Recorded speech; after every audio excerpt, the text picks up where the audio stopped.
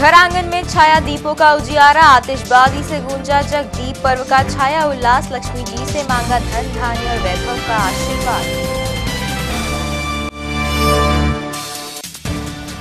दिवाली के शुभ दिन उल्लू के जोड़े को देख उल्लासित हुए लोग। उल्लू देखने को माना शुभ, वहीं विलुप्त होते लक्ष्मी वाहन उल्लू को लेकर पर्यावरणविदों ने जताई चिंता।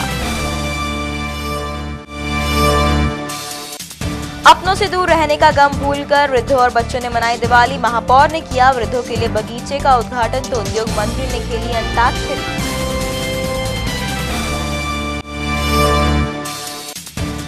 और दीप पर्व की रोशनी से अछूता है गरीब बचपन में मकान बनवाने के लिए फुलझड़ी, छोड़, थामा, कटोरा, वही दिवाली रोशन करने के लिए राजवाड़ा पर बचपन बेच रहा पानी।